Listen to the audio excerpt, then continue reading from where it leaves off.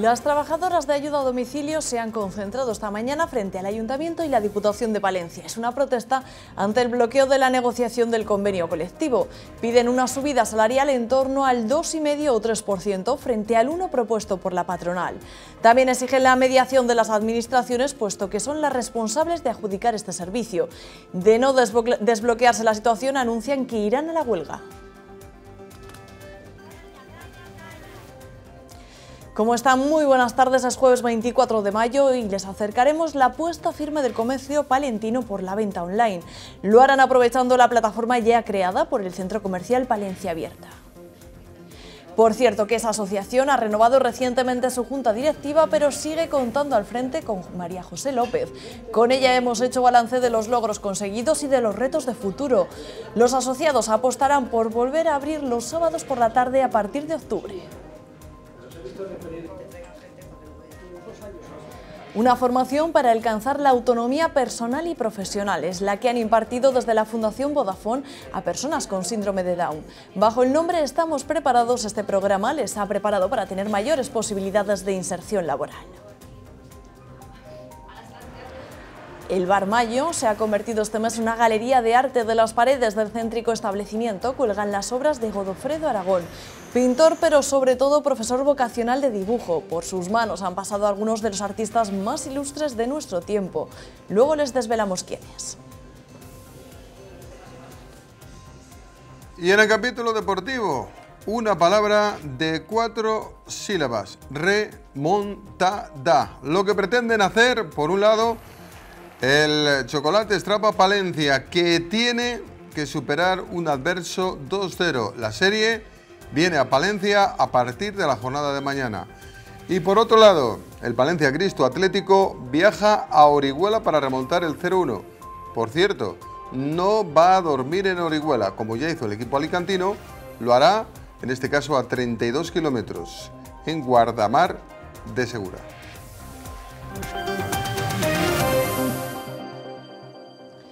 Problemas como los que atraviesan las trabajadoras de ayuda a domicilio y el comercio de la capital acaparan nuestras informaciones de portada.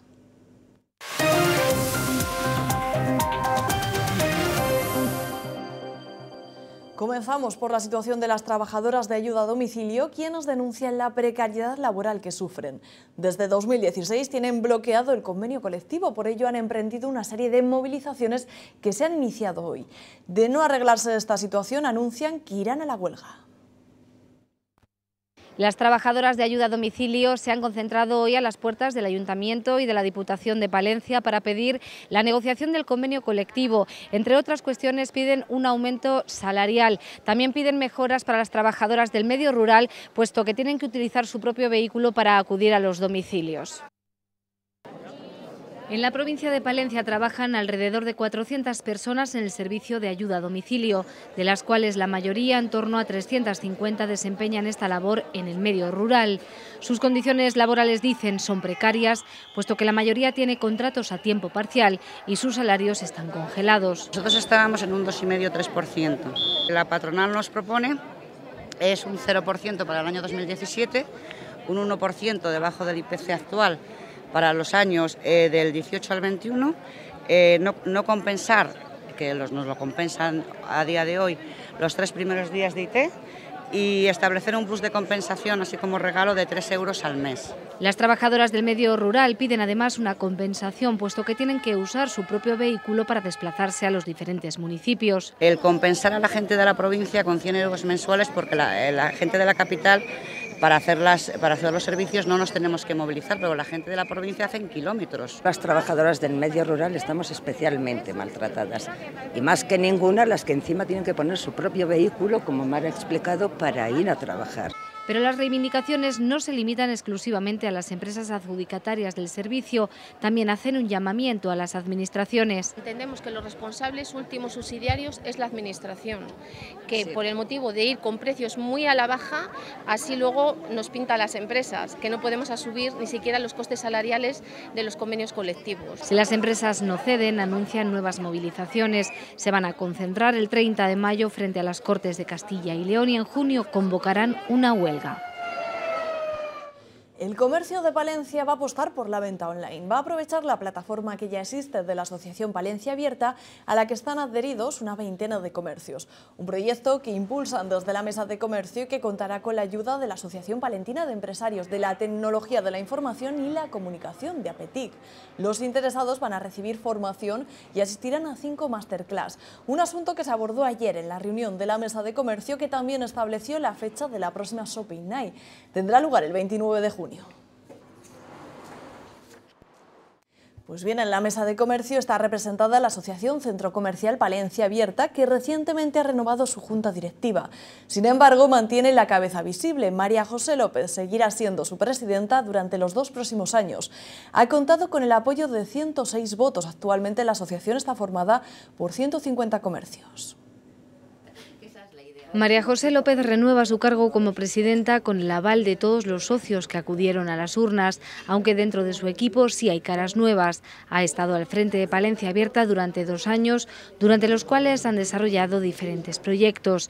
Entre sus mayores satisfacciones, la unidad de los socios. Importantes son los asociados y en este caso la Junta Directiva, que siempre se ha logrado formar equipo para que todos rememos en la misma dirección y hagamos las cosas con ganas pero también hay algunos proyectos que no han tenido la repercusión deseada. La espinita, la última campaña que intentamos de abrir los sábados por la tarde, no, sé qué nos ha faltado, pero nos ha faltado algo porque no hemos conseguido convencer a la gente. Y no hemos conseguido que se sume mucha gente a ese intento, a pesar de que habíamos puesto todas las facilidades de aparcamiento, de ludotecas, convenios con, los, con la hostelería para animar a la gente y no hemos tenido respuesta ni por parte de los comerciantes ni tampoco de la gente de Palencia. Volverán a intentar abrir los sábados por la tarde de cara a octubre.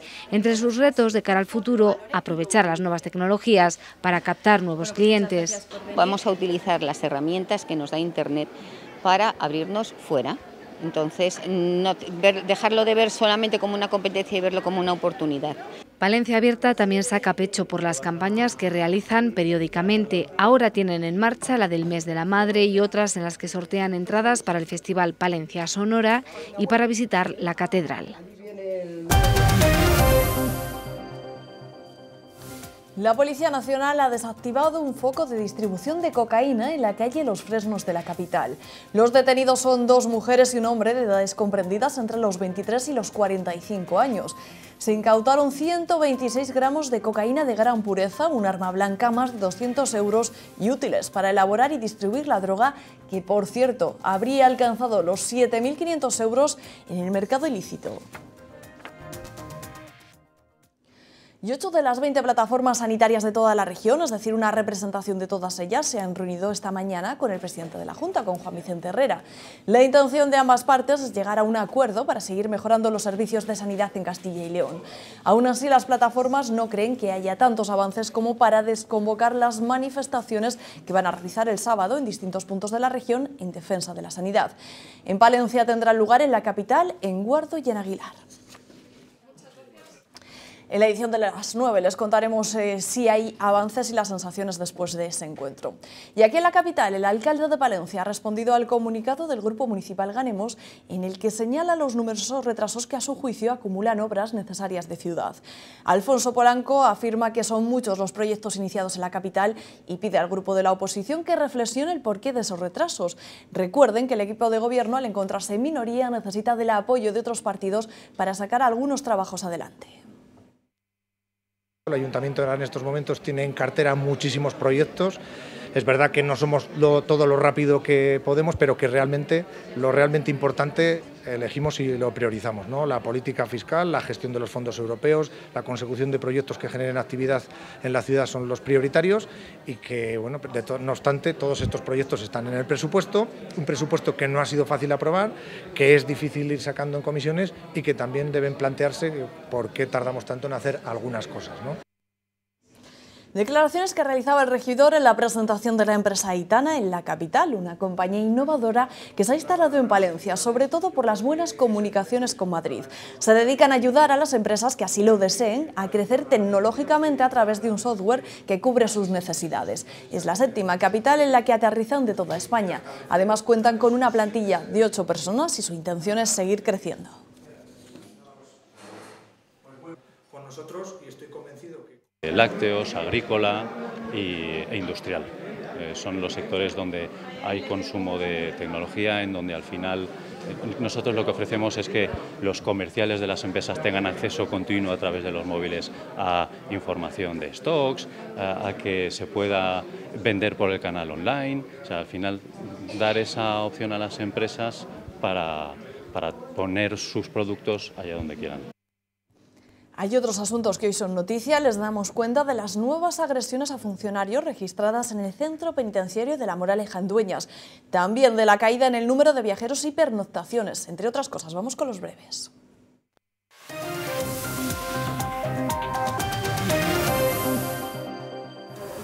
Cuatro nuevas agresiones a funcionarios han tenido lugar en los últimos días en el centro penitenciario de La Moraleja, en Dueñas. Una de ellas ha acabado en baja médica para el trabajador. La mayor parte se ocasionan al intervenir en peleas y discusiones. Desde el sindicato ACAIP denuncian la falta de funcionarios, más de 50, y el envejecimiento de la plantilla. El 80% supera los 50 años. Los datos relativos al turismo vuelven a poner de manifiesto que en Palencia aún queda mucho por hacer. Los datos son realmente negativos. En abril el número de viajeros cayó un 8,2% hasta los 16.700. La caída en las pernoctaciones fue incluso más alta, de más del 17%. El ayuntamiento permitirá este sábado sacar las televisiones a las terrazas de los bares y restaurantes de Palencia Capital. El objetivo es facilitar las cosas a aquellos que quieran seguir el partido de la final de la Champions League que enfrenta al Real Madrid y al Liverpool. Tendrán que retirarlos al final del encuentro. Nueve personas con síndrome de Down se han formado en nuevas tecnologías dentro del programa Estamos Preparados de la Fundación Vodafone. Un curso con tutoriales y prácticas que persigue dar nociones sobre las novedades tecnológicas. El objetivo es favorecer la inserción laboral de las personas con esta discapacidad. Desde la Asociación Síndrome de Down valoran positivamente esta iniciativa, puesto que aporta autonomía a los jóvenes con esta discapacidad en todos los niveles, tanto a nivel personal como a nivel laboral. Y eh, pues los resultados son fabulosos porque en total tenemos 960 personas formadas en estas cuatro ediciones con discapacidad intelectual, formadas en nuevas tecnologías que están preparadas para trabajar y 322 inserciones laborales en empresas ordinarias. Son muy receptivos a, aprender. Ellos quieren, quieren como todos nosotros, ellos quieren ser independientes quieren poder comunicarse sin trabas con los demás, que vean que todos aceptan y entonces al adquirir unos conocimientos es más fácil para ellos eh, actuar con todos porque tienen menos problemas, menos miedos y se sienten más seguros. Otro tipo de iniciativas, en este caso en el medio rural. Tabanera de Cerrato va a celebrar el 3 de junio la primera Feria Mujer Rural con la presencia de 15 están liderados, todos ellos por mujeres. Se trata del primer evento de estas características en la provincia y pretende dar visibilidad al papel de la mujer en el medio rural y poner en valor el emprendimiento femenino. Los expositores provienen de distintos puntos de la provincia e incluso de otras comunidades autónomas. Representan a sectores como el textil, la bisutería, cosmética natural, panadería o acupuntura. De, todo lo que os podéis imaginar. Después de los deportes, una propuesta expositiva. Pintor y maestro de grandes pintores, hablamos de Godofredo Aragón, quien ha acercado una selección de sus obras al bar Maño de la capital. Un recorrido por el estilo de un hombre que dio clases en su día, Félix de la Vega, Álvaro Reja o Chema Manzano.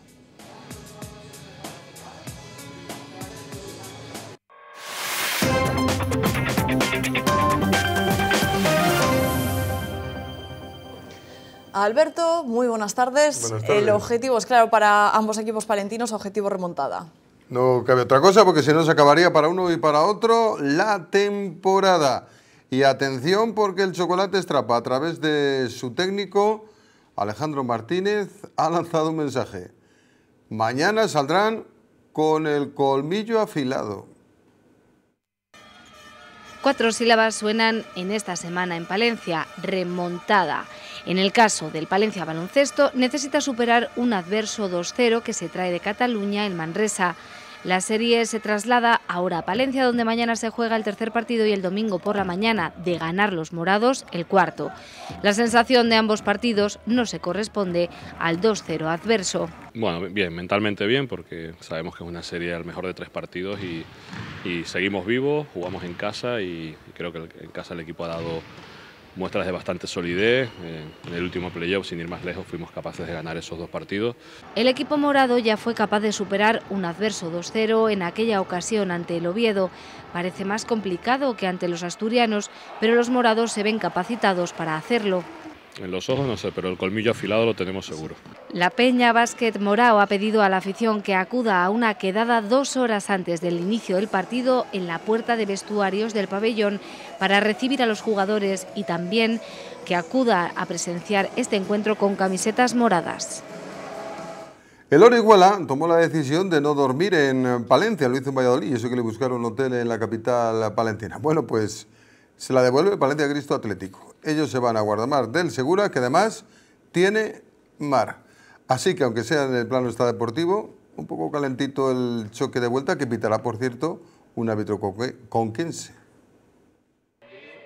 Quien piense que el Palencia Cristo Atlético está eliminado se equivoca. Los morados están convencidos de poder superar la eliminatoria pese al adverso 0 a 1.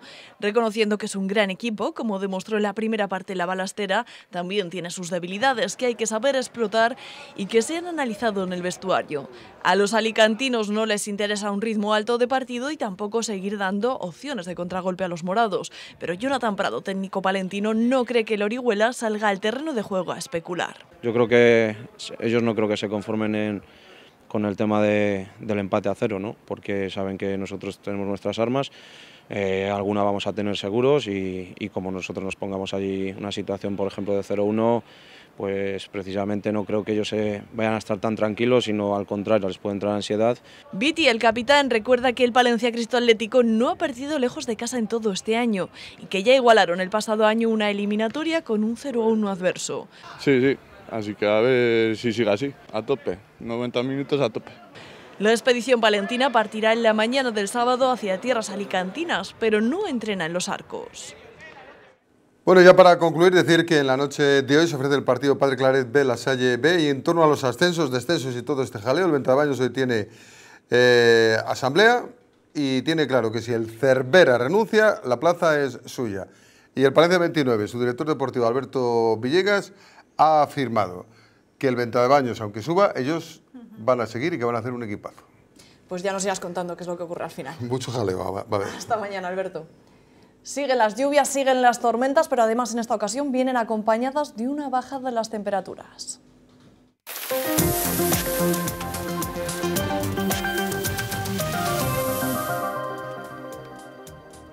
Deseamos que lloviese en este 2018 y lo está haciendo y con creces. Además, continúa el aparato eléctrico, continúan las fuertes tormentas de cara a este final de semana. Mañana además llegan acompañadas de una bajada general en las temperaturas máximas. Pasan de los más de 20 en la zona norte a quedarse en torno a los 17 o 18. Eso sí, las temperaturas que se mantienen más o menos son las mínimas, que se quedan en torno a los 9, incluso 10 grados. Hasta los 17 grados centígrados podría bajar la máxima en la zona de la Vega de Saldaña, donde también las tormentas serán protagonistas a lo largo del día, sobre todo por la tarde. En Villada, Fuentes de Nava o Monzón de Campos, la máxima se quedará en torno a los 18 grados. La mínima se mantendrá rondando los 10 grados. Viento suave que nos librará de tener una sensación de mayor cambio de tiempo. La temperatura en la zona de Cerrato también se quedará en torno a los 18 y 17 grados, lejos de los 24 y 25 de estas últimas jornadas. La mínima también se mantiene en esta zona de Palencia rondando los 9. Y en la capital, asimismo, bajada de la temperatura máxima, 17 de máxima, cielo cubierto durante toda la jornada y tormentas que podrían descargar chubascos fuertes durante la tarde. Y de cara al fin de semana tampoco hagan planes sin paraguas, porque viene cargado de lluvia. Ya han comenzado las ferias alimentarias de la Diputación. Siete localidades acogerán este evento hasta finales de agosto. De esta manera, la institución busca promocionar la marca Alimentos de Palencia a lo largo de toda la provincia. La celebración siempre va a coincidir con eventos destacados de cada localidad. No te lo pierdas, consulta en la página web de la Diputación Provincial. Por quinto año consecutivo y durante todo el mes de junio, la provincia de Palencia se convertirá en el lugar de referencia para amantes y profesionales de la fotografía.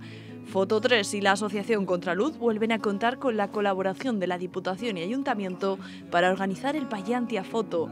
23 exposiciones, talleres, rallies fotográficos y mucho más.